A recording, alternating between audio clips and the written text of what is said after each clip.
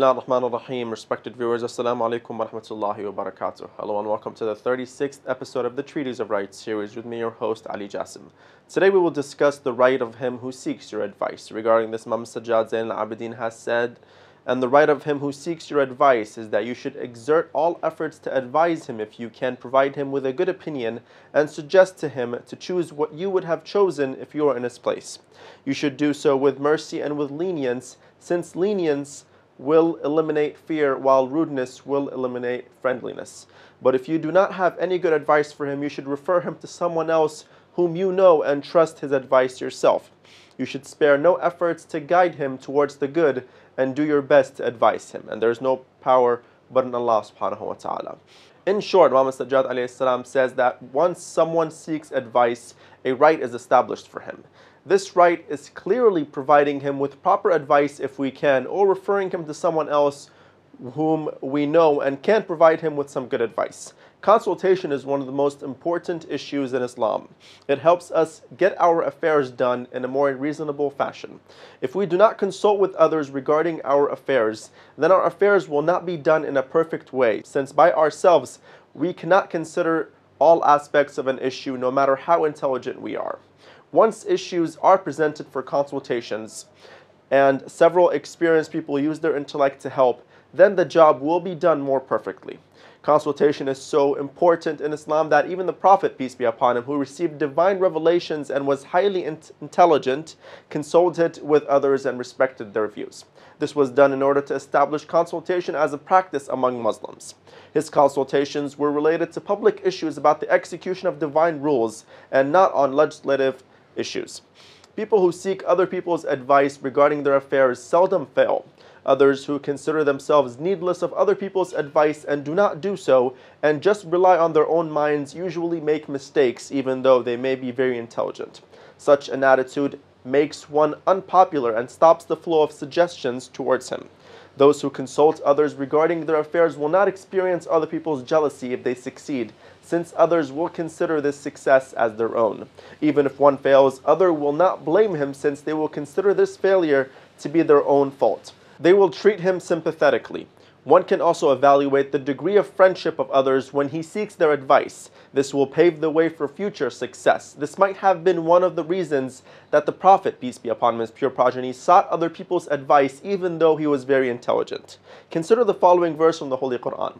It is part of the mercy of God that thou dost deal gently with them. Wert thou severe or harsh-hearted, they would have broken away from about thee. So pass over their faults and ask for God's forgiveness for them and consult them in affairs of moment. Then, when thou hast taken a decision, put thy trust in God, for God loves those who put their trust in Him. The Holy Quran, chapter 3, verse 159. It was revealed during the Battle of Uhud. It deals with an important aspect of leadership. A good leader is one who forgives those who make mistakes, but realize their mistake and repent. If a leader does not forgive such people and treats them with harshness, then the people will soon leave him unsupported. He will fail to implement his plans, and thus he fails to lead. In this verse, the Prophet is instructed by Allah subhanahu wa ta'ala to consult the people regarding his affairs. The Prophet obviously did not consult the people regarding revelations. Rather, he consulted them regarding the ways in which he implemented divine decrees. In other words, he never consulted the people on legislative issues. Rather, they were consulted on executive issues. For example, in the Battle of Badr, the Muslims set up their camps in a given location by the order of the Prophet, peace be upon him. One of the companions called Hubab Namundar asked, Is camping in this location decreed by God or is it your own opinion? The Prophet said, No, there is no divine ruling on this issue. Then Hubab said, This is not a good place to camp. The Prophet agreed with him. We also read in the Holy Quran, those who hearken to their Lord and establish regular prayer, who conduct their affairs by mutual consultation, who spend out of what we bestow on them for sustenance. The Holy Quran, chapter 42, verse 38. Let's go for a quick short break. Stay tuned.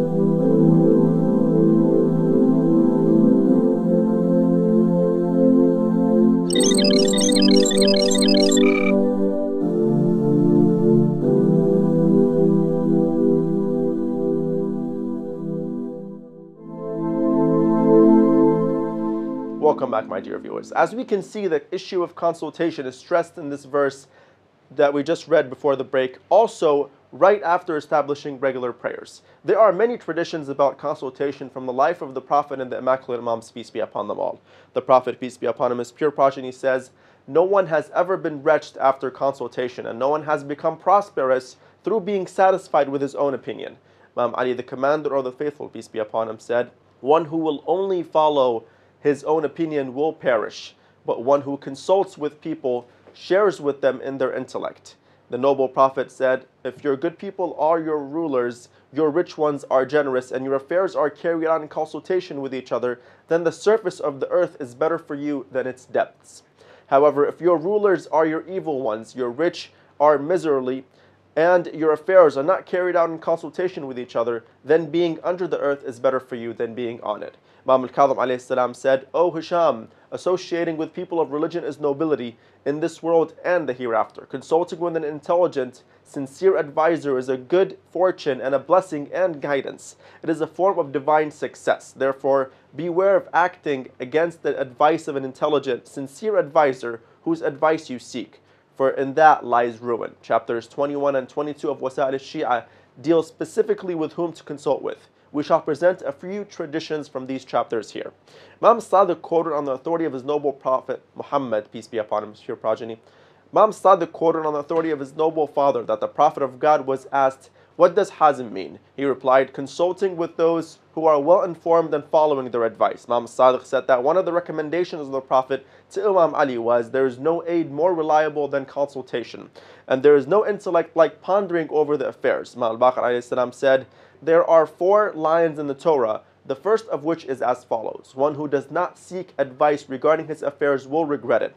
Imam Ali said, There is no aid like consultation. Imam Sadiq said, In your affairs, only consult with those people who are fearful of God.